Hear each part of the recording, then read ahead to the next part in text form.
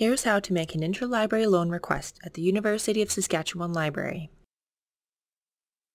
After you've searched the library's website and are sure that we don't already own the item or have access to the article that you need, you're welcome to make a request through Interlibrary Loans, or ILL. ILL is part of the same unit that does book chapter and article scanning. To find their homepage, click on Use the Library, then in the drop-down menu, choose Interlibrary Loan and Scan Request. There are two ways to create requests. The first and easiest way to request an item is to find a citation in either USearch or Google Scholar, and use that to auto-populate the request form. If you come across an item in USearch that says no full text online, click the record, choose how to get it, then click the Go button next to request it from another library. When you come across an article in Google Scholar that is not available through USask, click the double arrows to show more options under the citation, then choose Find it at USask. This will take you to the same page as USearch. To use Google Scholar to make requests, you'll first need to set it up to show USask materials. Instructions for that can be found through our website under Use the Library, then Connect from Home. For both USearch and Google Scholar, once you click Go, you'll be taken to the request page. Log in with your USask NSID and password if you haven't already, and the citation information will be auto-filled. If you already have the complete citation information for the item you want, the second method of submitting a request may be quicker. From the Interlibrary Loan and Scan Request homepage, click on Create or Track a Request, then choose one of the options under Add Request on the left side to generate a blank request form.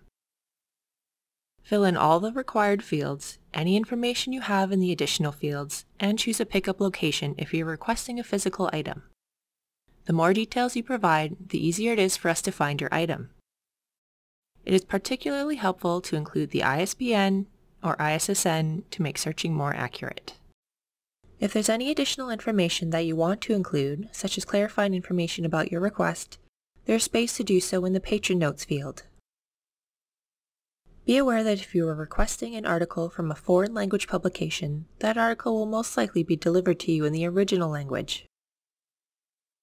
Finally, carefully read and check the required box agreeing to abide by the Canadian Copyright Act or restrictions placed by the lending library. Then click Submit at the bottom of the page. A pop-up will say your request was successful and will show your request number. You'll also receive an email confirmation. You can track the status of your requests, cancel open requests, or contact ILL staff through the options in the left side navigation menu.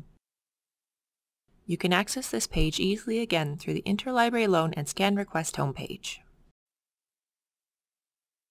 You will be notified through your USask email account when your item is ready. If you requested a book loan, follow the instructions in the email to pick it up at the location you chose when making the request. If you requested an electronic copy, follow the link in the email and log in, if prompted, to be taken to the article.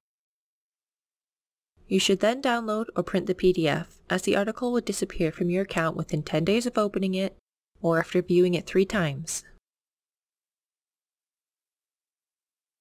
If you live in Canada, are a current student, staff, or faculty, and prefer to have your book loan mailed to you, make sure you're registered with our distance and distributed library services. You can register from the library's website by clicking Use the Library, Distance and Distributed Library Services, and register for DDLS. Now when you request a physical item, select Distance and Distributed Library Services as your pickup location.